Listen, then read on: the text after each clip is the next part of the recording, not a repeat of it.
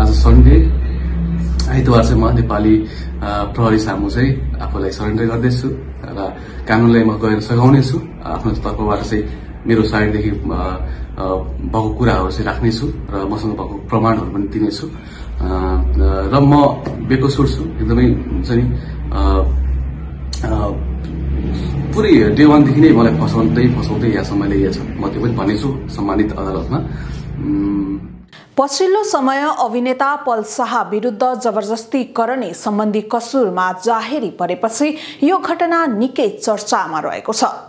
आइतबार अभिनेता शाहले सामाजिक सञ्जाल मार्फत भिडियो पोस्ट गर्दै आफूले प्रहरी सामु आत्मसमर्पण गर्ने बताएका थिए र उनी आइतबार नै तनहु प्रहरीमा हाजिर पनि भएका छन्। त्यस लगत्तै उनीमाथि अर्को किटानी जाहेरी परेको छ। उनी विरुद्ध किटानी जाहेरी लिएर पीडित नवलपरासीको गैडाकोट पुगेकी छिन्। पुनः अर्को किटानी जाहेरी दिन पीडित आइतबार आफन्तहरूसहित इलाका प्रहरी कार्यालय गैडाकोट पुगेकी हुन्। प्रहरीका अनुसार उनले लगेको जाहेरीमा सात चैत्रमा नवलपरासीको गैडाकोट रिसोर्टमा सुटिङका बेला जबरजस्ती करणी भएको दावी गरिएको छ।